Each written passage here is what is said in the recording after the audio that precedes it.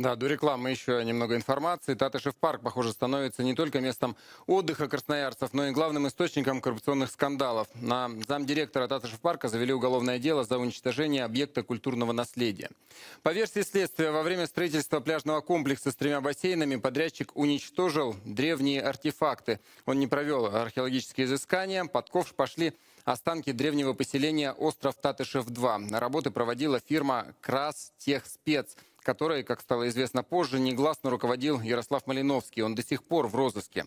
Теперь же следствие считает, что администрация Татышев-парка не проконтролировала наличие нужных документов и спокойно приняла объект после окончания стройки. Ущерб оценили в 79 миллионов рублей. Заместителю директора Татышев-парка Игорю Винокурову грозит до 6 лет лишения свободы. Кроме того, Другого подрядчика в Татышев парка оштрафовали на миллион рублей. В том же 2021 году, когда шло строительство пляжного комплекса, по версии силовиков, директор компании «Сибирский теплый дом» договорился с директором парка Сергеем Васильевым, что он заберет тендер на ряд работ, за что якобы заплатил главе администрации 200 тысяч рублей. Подрядчику помогли организовать документацию к торгам. Подвоха не заметили даже, когда работы начались еще до победы на аукционе.